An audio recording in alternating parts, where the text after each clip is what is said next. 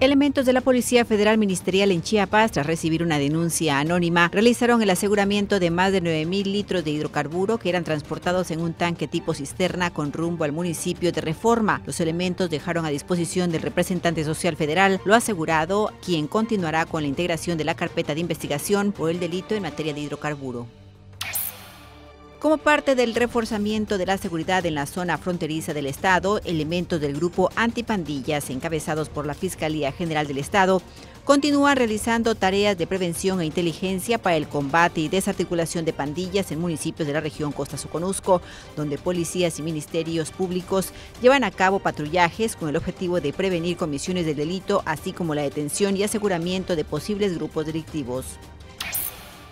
La suma de esfuerzos entre la Secretaría de Seguridad y Protección Ciudadana a través de la Subsecretaría de Sanciones Penales y Medidas de Seguridad, la Fundación Micho y Mau IAP para Niños Quemados y la Cruz Roja Mexicana Delegación Chiapas impulsó la campaña nacional de prevención No te quemes en el Centro de Reinserción Social para Sentenciados número 14, donde más de 182 personas privadas de la libertad conocieron indicaciones sobre los riesgos de sufrir una quemadura de primer, segundo o tercer grado.